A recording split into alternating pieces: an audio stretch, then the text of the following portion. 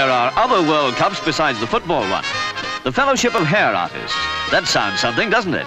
Held the Open British Championship at Sutton Coldfield, showing how much can be made of a girl's hair when the maestros really let themselves go.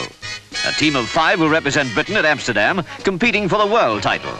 As 20 other countries will be in the running, nobody's going to have a walkover. The styles are essentially for dressy occasions, not for battling your way home in the rush hour.